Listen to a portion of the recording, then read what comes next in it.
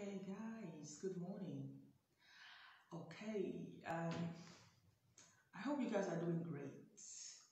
Uh, I've had um, a break, yeah, a break from you, and it's important. Uh, it was important for me just to recenter myself, to know exactly what I want to share, who I want to be authentically. So, um, it's actually the middle of the night as I'm recording this.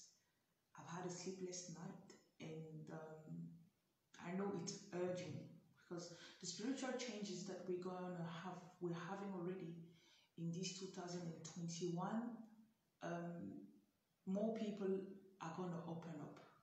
More gifts are gonna be uh, discovered. So if you don't know what's blocking your gift, you might, you know, live a, a life full of, of stress and um, not understanding why. So I'm just going to take my example. You know, I went through um, on and off. Yeah. Good morning. I didn't know you were going to be awake, so good morning. I went on and off. I went through some spiritual changes, and um, during my journey, I always kind of felt or knew that I have some gifts, but I think in 2014, that's when mine started showing up. Like I could, you know, when you say you have a gift of prophecy, I could prophesy sometimes, and 99% of the time it will come true. And um, what else? You know, I'll have this sixth sense. When I see somebody that's fake, I'll just know. You know, I'll just sense it. And when when my gifts opened, I was in a Christian setting because it might happen and it finds you being in a Muslim setting or you know you're just an atheist. You have to understand that what matters and will trigger your spiritual gifts is actually you being true wherever you are. So, um because being a Christian, I used to, I used to, because Christians, you know that when we the gospel is being preached to us, uh, it's like we are better than everybody else. We shouldn't mingle with anybody. So it it kind of makes us to believe that we are the chosen, like the only one on planet that will go to heaven. And um, when I left Christianity and then I came back, when I left, I I kind of explored. I kind of I was like, Jesus, I, so you're gonna send all these people to hell? Like, you know what? Just explain this to me. So it just allowed me to explore other options, and that's because I was I served truthfully, genuinely. You know, there's a scripture in John chapter 14, verse 21, where Jesus says, If you do what I say, obey, if you love me, you do what I say. And if you do what I say, I will come and reveal myself to you.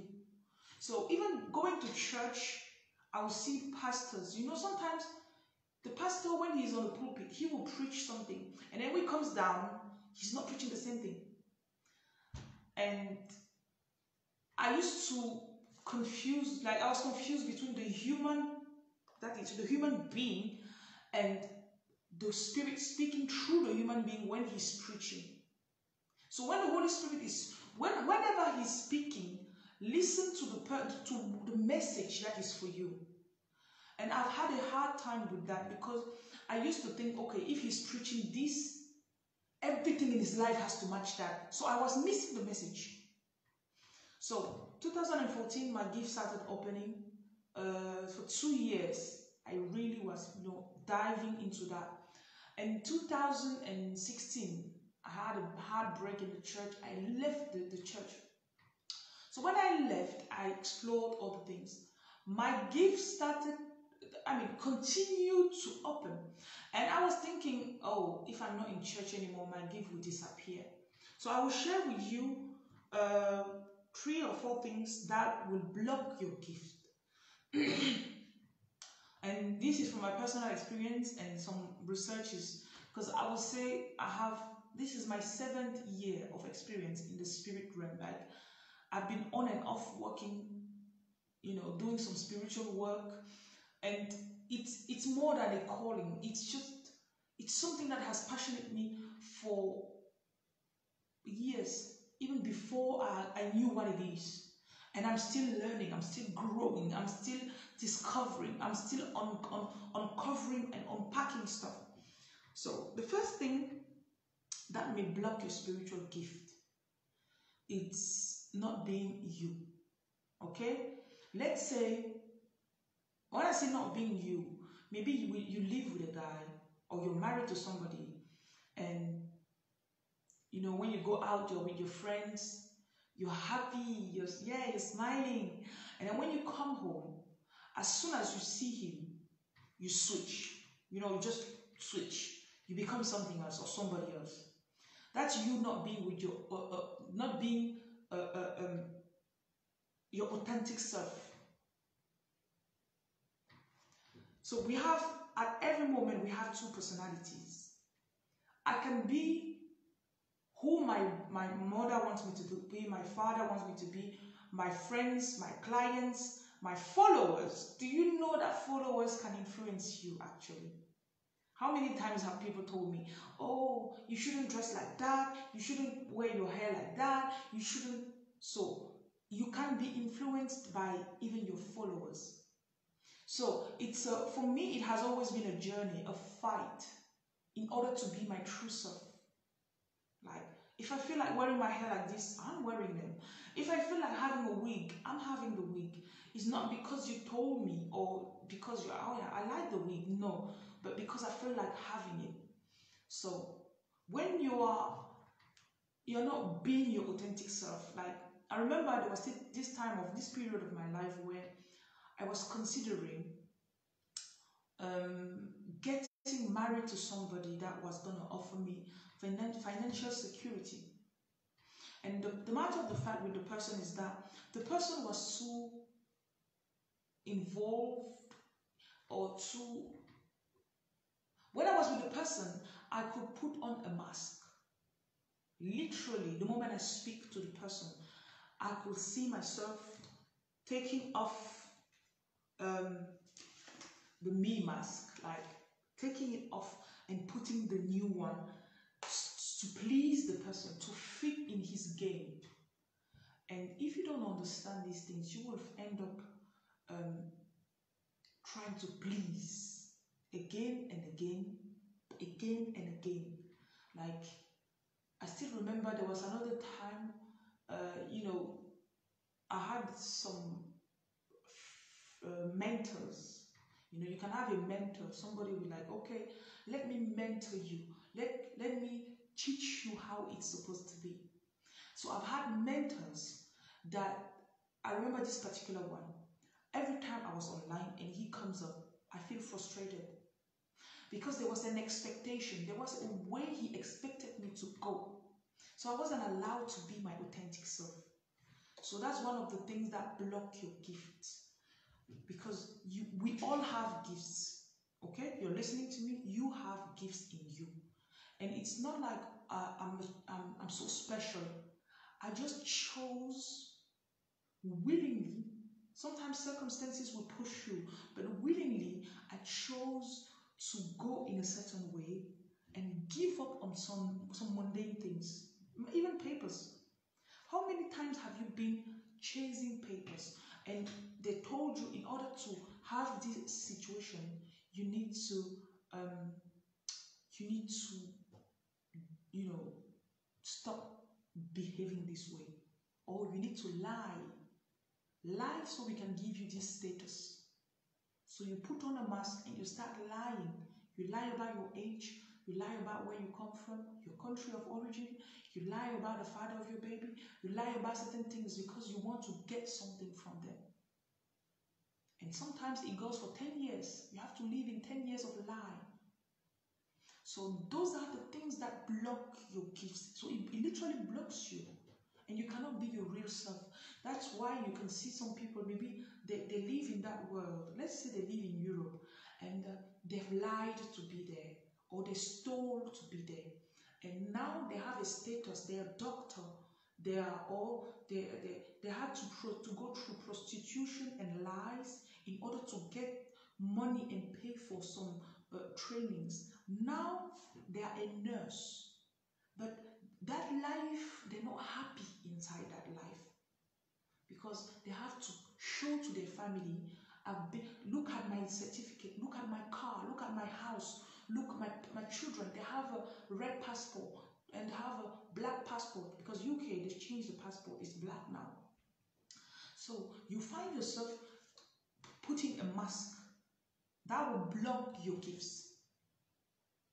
Okay, right. The second thing that will block your gift it's not speaking your truth. So it's it's kind of linked to the first one because the first one I said just accepting, just being uh, compromise, you know, being in another environment that will allow you to blossom. The second one is not speaking your truth. So you might be you hear like these kind of videos. I've been urging and itching to do them, but then when I start doing them, I feel like, oh, maybe some people are not gonna like it, or maybe. But as I do this, I'm happy. As I do these videos, looking the way I'm looking, this is me. Like I'm totally aligned with me right now, and I'm speaking my truth. I remember there are some people that when uh, in 2016 I have a friend, and uh, she's in the US.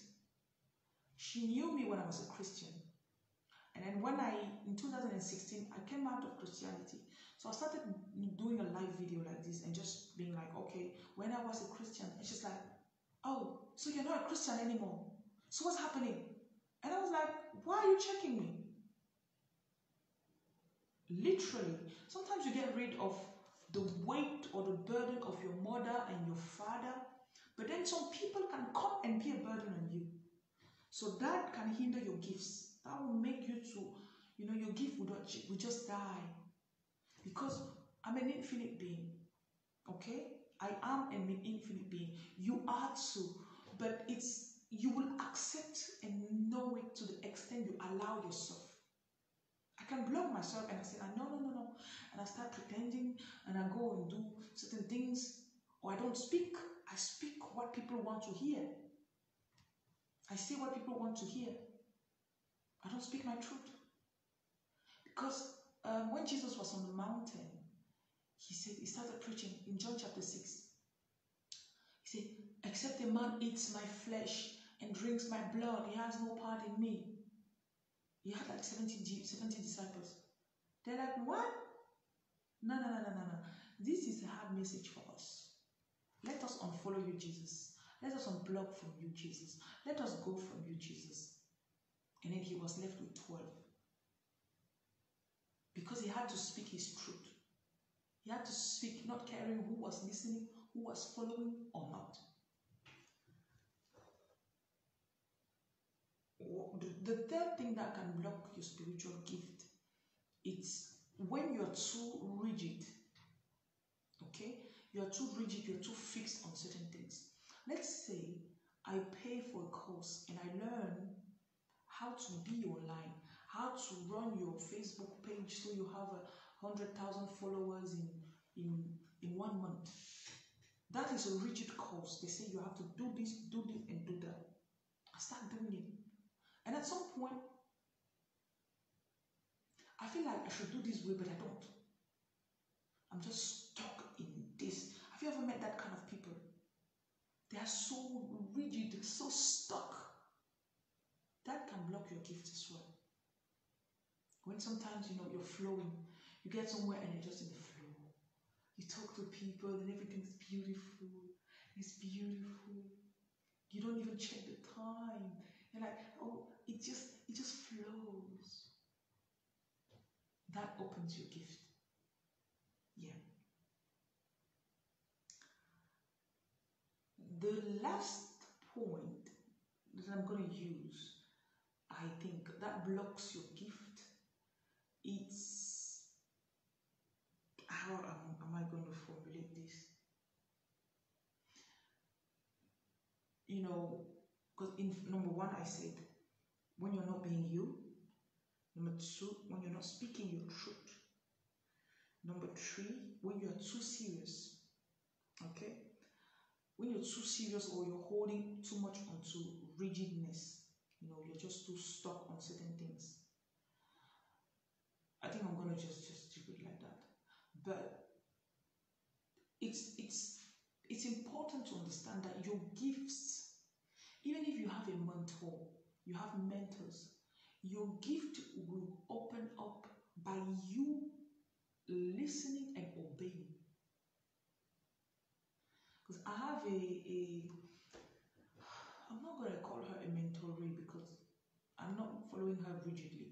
Like she on and off she asks me questions and I will answer but just mildly answer her.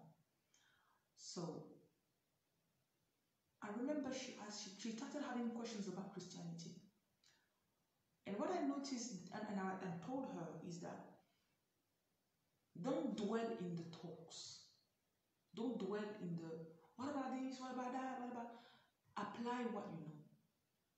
If you apply the 2% you know, it's better than somebody who knows 90% and does not apply them. I repeat myself.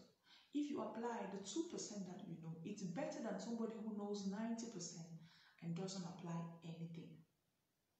This is how I'm going to talk about this in um, the next video. This is how your spirituality will grow. Whether you find yourself in a Buddhist circle or Islamic circle, Christian setting, whatever, you know, it will allow you to grow because you have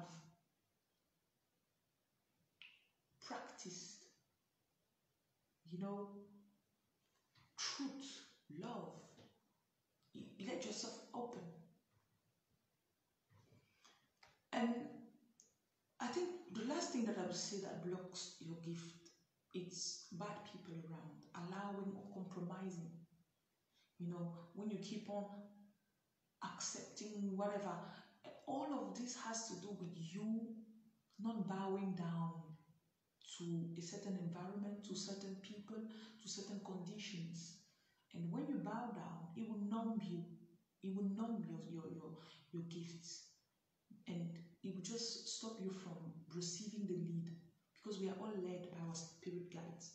Call it Holy Spirit, call it spirit guide, call it guardian angel, whatever you want to call it. We're led by Him. And we're led as much as we obey. He will not show us the whole way, He will just show us one step. You obey that step, and then the next step, you obey, and then the next step, and then the next step. That's how the journey unfolds. And then after 10 years, you're like, wow, I've acquired, like I'm a master now. But there's still more than that. The more you know, the more you know that you don't know. Yeah, so you can share this video and or tell me what is your own spiritual experience. How far are you? How far are you? And uh, how did you discover your gifts? And are you enjoying them? Are you putting them to practice?